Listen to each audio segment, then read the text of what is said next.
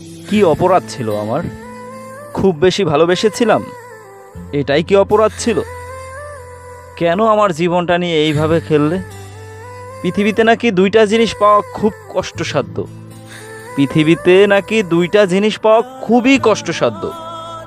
একটা হলো মনের মানুষ, আরেকটা হলো মানুষের মন।